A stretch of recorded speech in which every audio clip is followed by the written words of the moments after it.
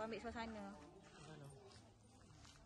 Adik tunggu ayah dan nak pergi dah itu kata-kata terakhir Muhammad Latif Idris kepada anak bongsunya Ali Syazwani selepas mengambil anaknya itu pulang dari sekolah petang Kamis lalu.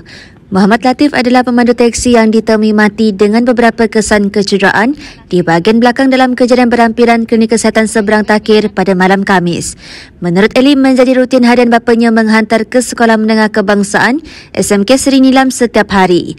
Katanya ketika itu dia tidak mengesyaki apa-apa tetapi bila kejadian ini berlaku ia seperti satu pesanan kepadanya.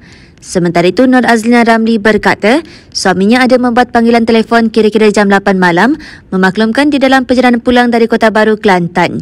Menurutnya dia hanya mengetahui kejadian itu selepas ia tular di Facebook dan WhatsApp sebelum bergegas ke lokasi kira-kira 11.15 minit malam. Ah, dah, ah, dah satu tengah hari tu dia balik.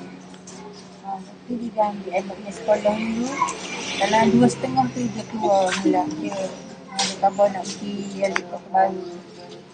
Ah, Lepas dia balik pada kota baru tu lah. Dia masuk pergi bandar semua. Kat bus stand. Puan uh, dapat panggilan telefon tu macam mana yang tahu kejadian ni? Puan tu macam mana? Suami anak saudara nampak dalam uh, grup-grup teksi lah. Kali tak hati bubuk. Semuka kan? uh, mesej ke. Kali aku kali tak hati boleh cakap dengan dia dalam pulang pang malam. Pulang pang semalam. itu arwah kat mana di kampung Lepas itu dia on the way balik dari Kota Baru lah. Tapi saya tak tahu dia tutup kat mana masa tu. segi atau penumpang ke mana Ada ke ada orang tumpang atau barang.